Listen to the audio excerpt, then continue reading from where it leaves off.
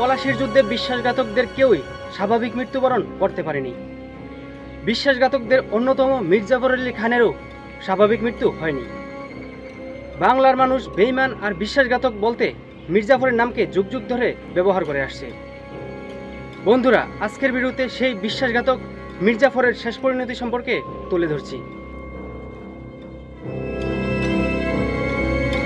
বাংলার ইতিহাসে নবাব সিরাজউদ্দৌলা নামটি যতটা ভালোবাসার জায়গা দখল করে আছে, তার চেয়ে বেশি ঘৃণার জায়গা দখল করে আছে মির্জাফর নামটি।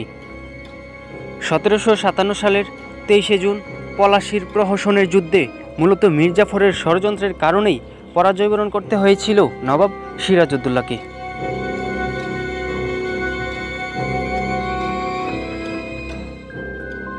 এর ফলে অস্তমিত হয়েছিল বাংলার স্বাধীনতার শেষ রক্তিম সূর্য।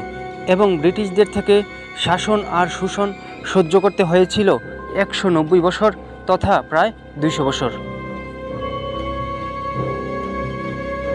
পলাশির যুদ্ধে সিরাজউদ্দৌলাকে পরাজিত ও হত্যা করার পর বিশ্বাসঘাতক মির্জাফর আলী খানকে সিংহাসনে বসান ইংরেজরা। মির্জাফর নবাব হিসেবে সিংহাসনে বসলেও সে ছিল ইংরেজদের অধীনস্থ কর্মচারীর মতো।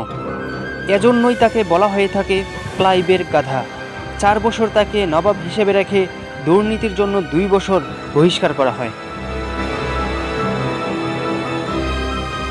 ধীরে ধীরে মির্জাফর কুষ্ঠরোগে আক্রান্ত হয়, ফলে তার শরীরে অসংখ্য ঘা ও ফোড়া হয়ে রক্ত ও পুচ পড়ে এবং দুর্গন্ধ বের হতে থাকে।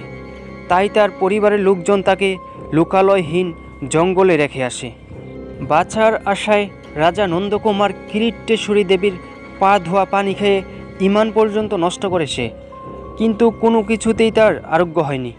পরে মৃত্যু যন্ত্রণায় ধুকতে ধুকতে বেইমান আর বিশ্বাসঘাতক হয়ে প্রাণ যায় মির্জাফরের।